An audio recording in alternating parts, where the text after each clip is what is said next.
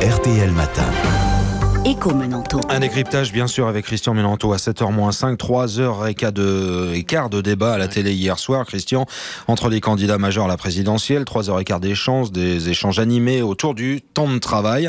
Au final, expliquez-nous quel président nous ferait travailler le plus longtemps. Oui, c'est vrai, il faut se poser la question parce que ça a parfois été un tout petit peu confus. Alors, qui va nous faire travailler le plus longtemps? Eh bien, Sans conteste, et sans surprise, bien sûr, François Fillon, que ce soit sur la semaine ou sur l'ensemble d'une vie. Hein. Il a été le plus clair, catégorique, fin des 35 heures, suppression de toute borne de temps et renvoi aux négociations dans les entreprises au terme d'une vie professionnelle dont la retraite sera prise à 65 ans. De son côté, Emmanuel Macron, que j'ai trouvé un peu plus confus, n'est pas fondamentalement en opposition marquée hein, avec cette philosophie, sauf qu'il conserve, lui, les lois Aubry, donc la référence aux 35 heures hebdomadaires qui resterait alors le seuil de déclenchement des heures supplémentaires, mais lui aussi donne la priorité aux accords majoritaires dans l'entreprise. Jean-Luc Mélenchon, lui, met le code du travail sous cloche, hein, il est intouchable. Benoît Hamon est resté sur ce thème très flottant, et Marine Le Pen, elle, elle abroge les lois El Khomri.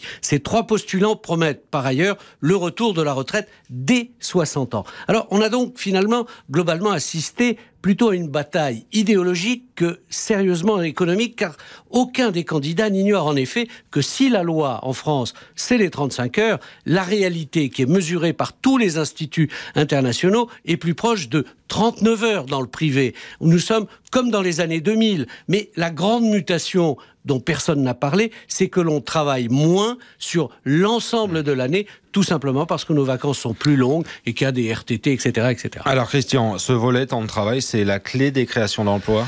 Non, sur ce chapitre, d'ailleurs comme sur beaucoup d'autres propositions économiques, les candidats n'ont pas suffisamment documenté leurs propositions pour nous rassurer. D'ailleurs, aucun d'entre eux n'a osé prétendre que c'est par le curseur du seul temps de travail que l'on peut créer des jobs. En réalité, je crois que tous partagent, même sans le dire bien sûr, le résumé de M. Mélenchon. Le job, c'est le carnet de commandes. La division, et c'était ça vraiment l'intérêt du débat, ça a été de comment on garnit le carnet de commandes. Et là, les options, elles sont franchement opposé. Il y a un camp qui, alimente ce carnet d'ordre en, en augmentant le pouvoir d'achat des consommateurs sans s'occuper des déficits, et il rassemble Jean-Luc Mélenchon et Benoît Hamon. Il y en a un autre qui privilégie la musculation de nos entreprises en favorisant leurs investissements un peu sur le modèle germanique. Hein. Les investissements d'aujourd'hui seront les emplois de demain. Quant à Madame Le Pen, elle, elle mise tout sur la sortie de l'euro et la dévaluation d'un franc nouveau,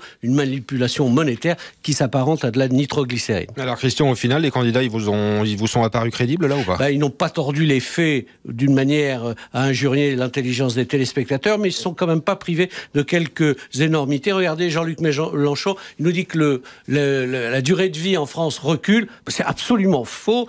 La durée de vie en bonne santé des Français ne cesse de s'allonger. Il a confondu peut-être avec la Russie de Poutine. Décryptage éco vous réécoutez tout cela sur rtl.fr.